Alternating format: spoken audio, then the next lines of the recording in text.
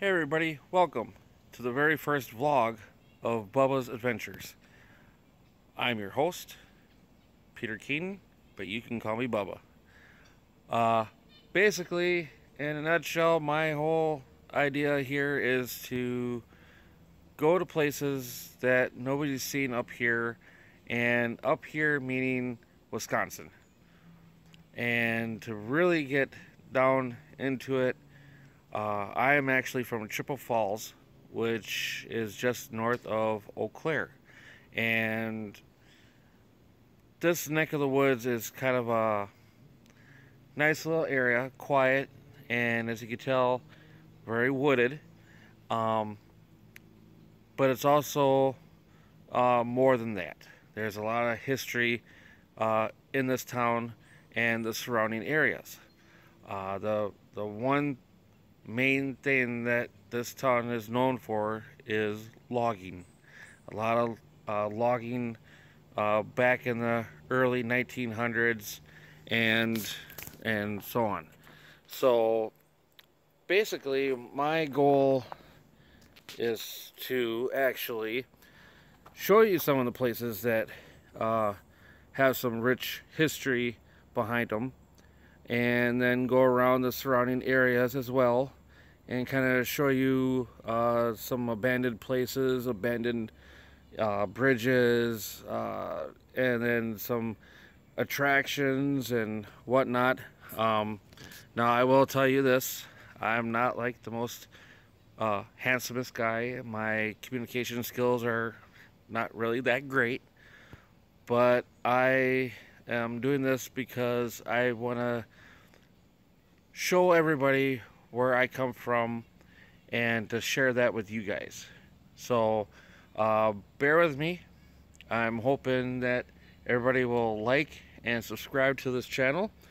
Um, this is going to be kind of a a long process. I'm hoping that everybody will enjoy what I'm basically going to be uh, showing off. Uh, so for starters, uh, let's kind of take a little tour here. You see we have this little bridge right here. Okay, well, this bridge used to be, let me switch hands here.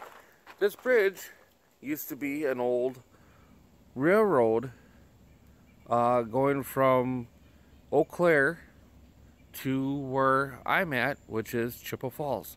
Now, if you look on the map, it, they're pretty close together, but way back in the early 1900s, back when logging was the big thing, they needed, you know, some traveling, and railways were the, the thing back then. So, this used to be an old railroad bridge, and if we take a gander at, you know, the the structure of this bridge, I mean, it's pretty pretty old. We're gonna kind of take a walk here, and I think what I'm gonna do is kind of give you some views from the top of the bridge here, and uh, and then maybe we'll go to a different location. So let's take a look. Hey, you see here, this goes way across, and if you take a really good look, if you follow that path, that is uh, old railway going back through the woods there, and that actually leads right down into the uh, into Eau Claire, which is a few miles away. So what we're gonna do now is kind of take a nice little peek. What's going on down here? There's a little creek. This actually is a spring fed. You can see that little pipe down there. Well, that is from uh, a little spring, uh, just a little bit of ways, and it goes right through that pipe. Comes all the way down and all the way over here. You can see down there goes all the way through and actually ends up in a place called Glen Loch Lake. And that's where we'll be headed next. So here we are, still in the middle of the woods. And right now I'm on this path that's going to lead right down where I was telling you that that spring fed into. We're to go right down to the Glen Loch Dam. And it's basically a nice little lake, the Glen Loch Lake. And there's a lot of history um, with this area. A lot of, a lot of old things going on. Basically, uh, an old lumber mill over on the other side. I'm gonna try getting to it.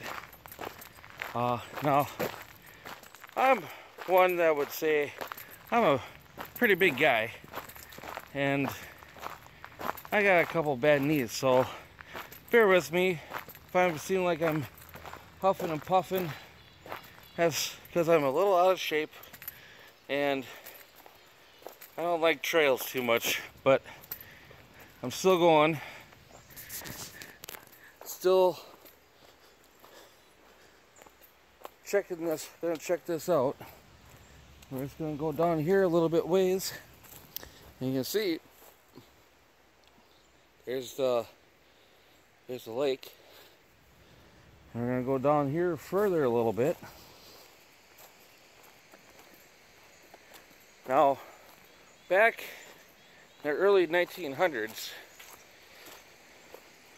over across the way, there used to be a I guess you could say a sawmill. I want to say that's what it was. Um, that dam was part of it. Uh, and it looks like I'm kind of in the wrong spot. So I'm going to go up here a little bit. Now there's a lot of erosion going on right here and a lot of uh, tripping hazards. So I'm hoping that I'm watching what I'm doing and still talking to you guys. So, like I said, bear with me. We're going to get through this and go up here a little bit more. Whew. Go up here and check out the dam.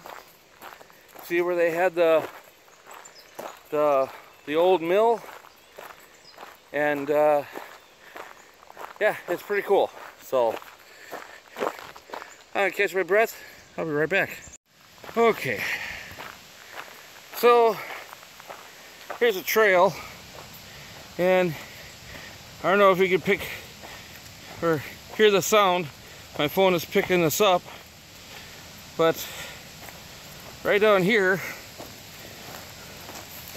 bear with me. This is not easy for me. But uh big guy with two bad knees trying to do this. But uh, I'm not going down there any any further than I have to. But uh, you can see right over there, that's where the dam is.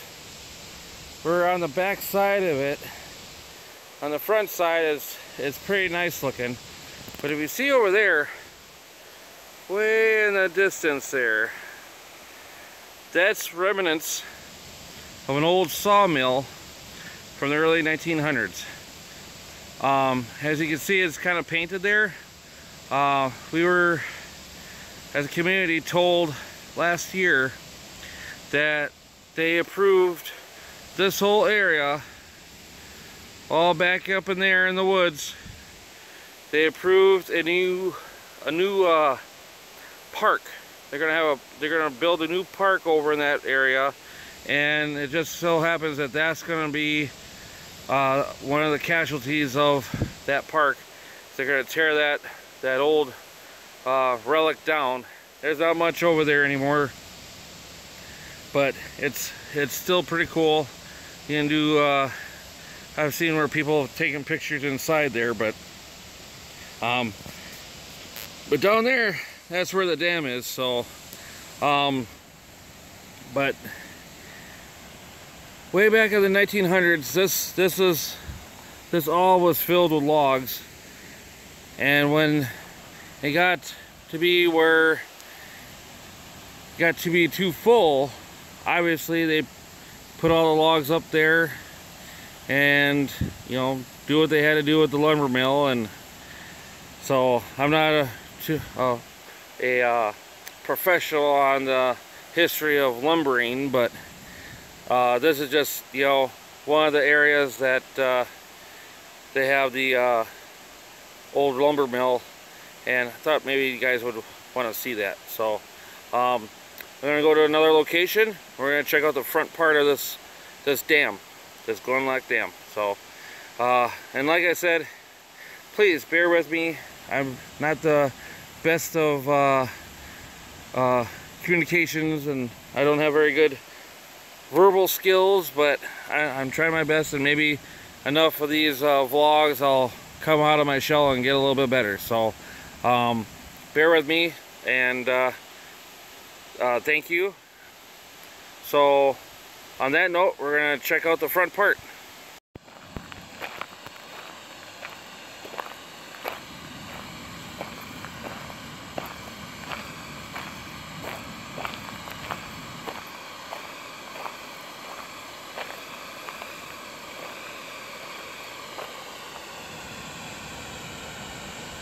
There it is. As the front part of Glen Loch Dam. And like I said once before, this used to be a logging area for a sawmill right off to the right there. Can't really tell anymore because it's all overgrown. But this is what it looks like today. It's pretty majestic, very beautiful. Nice little dam there with the overflow and it just goes right down past the trees and all the way down past down in there. But uh, this is what looks like on the front side and it's pretty nice looking.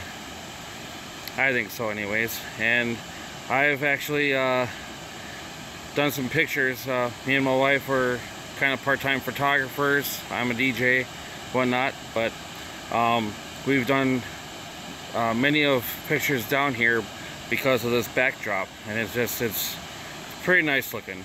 Um, so give that a little little food for thought and you know if you want to click the like and subscribe and leave some comments that'd be great.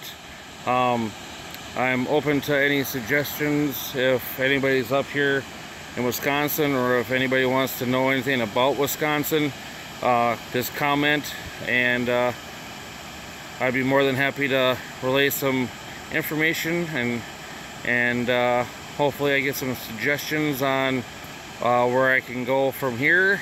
Um, I got a few ideas what I want to do and and uh, hope you like them so on that note thank you. And please like I said bear with me. This is all brand new to me. Uh, even the editing uh, is going to be kind of a hit or miss type of thing. So just bear with me. Uh, I hope you guys uh, like what I'm doing and uh, and thank you very much and enjoy. And this is Bubba and it's Bubba's Adventures. Thank you.